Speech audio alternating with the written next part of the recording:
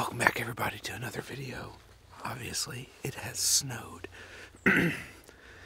it's the day after it snowed, and these deer are all over the place in here today. And multiple coyotes. So, my, my phone just keeps going off with all these deer and coyotes. I think later on my dad's gonna come down with his uh, call. We're gonna try to call in a coyote as it's getting dark, but for right now, we're gonna try to sneak in here.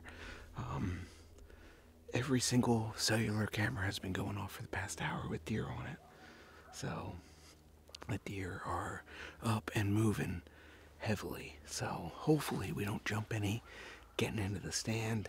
Um, and if we see any, hopefully we get a shot at some. So let's see if we can get a deer down today.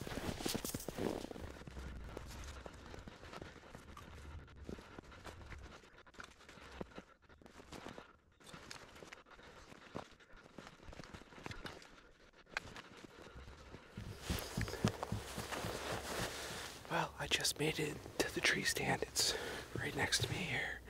I'm just a little worried about going up and in case the deer are out in the food plot. I guess the best thing I can do is kind of just and peek over and just see if there's anything out there. Um, I don't know what I'm gonna do if there is though. That's that could be a problem.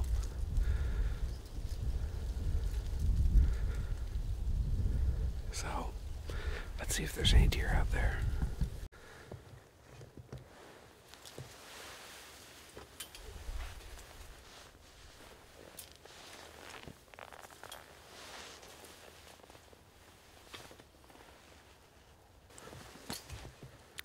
Well, I didn't see any, so I'm gonna try to quick skedaddle up that tree, get all my stuff together, and uh, hopefully not bump any deer. Just got up, got all settled in. I don't, I didn't, I don't think I spooked any deer.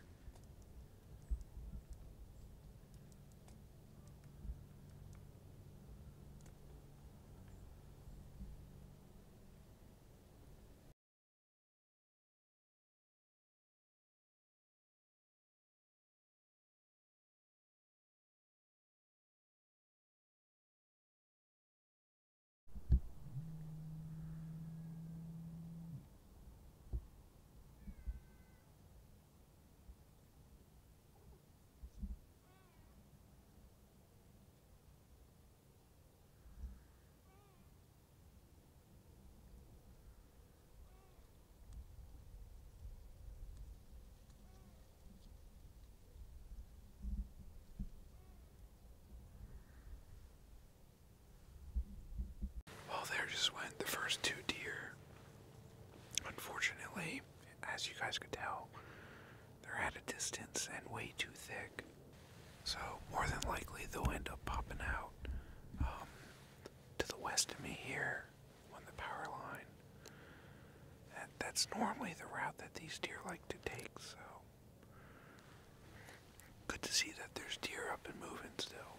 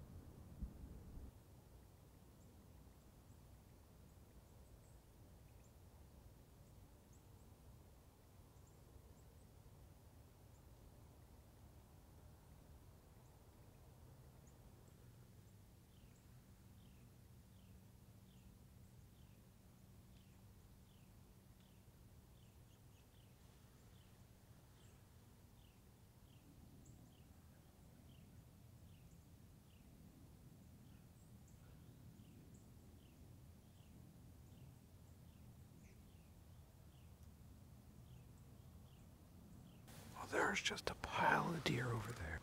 I, I really don't know how many deer there was, but I seen a lot of bodies moving around in there. Yeah, I just caught the butt end of another deer walking over there.